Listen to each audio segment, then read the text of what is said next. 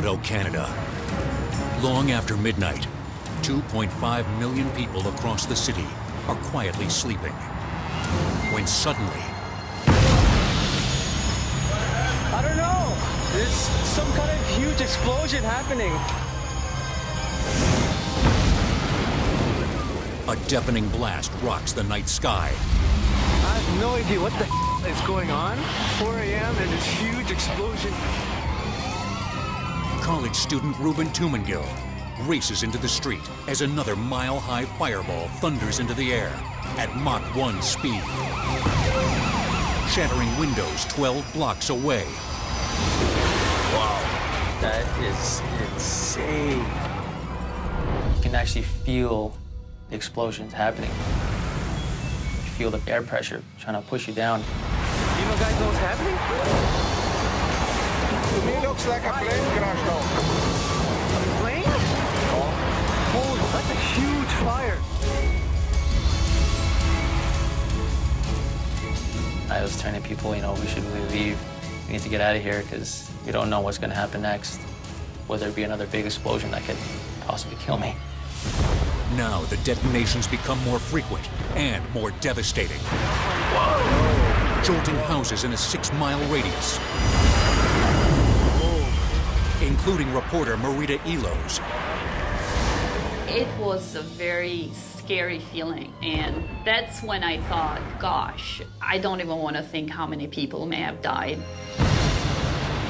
When Marita gets closer to the danger zone, she discovers the horrifying reality. Holy. Holy.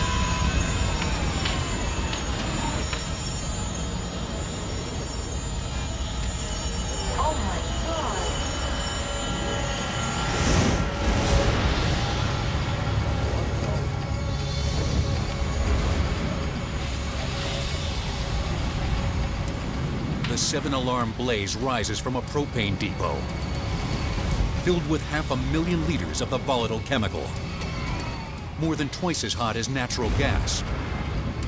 The combusting propane erupts into a 2,000 degree fireball. It looked almost like a nuclear bomb.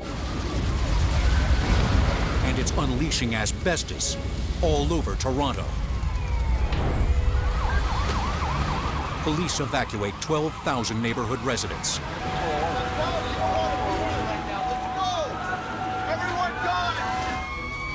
It takes 200 firefighters 16 hours to extinguish the blaze.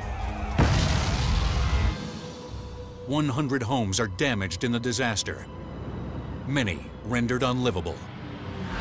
But thanks to a quick emergency response, only eight people are injured.